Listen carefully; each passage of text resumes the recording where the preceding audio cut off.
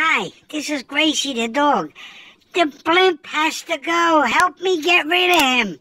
I can't stand him.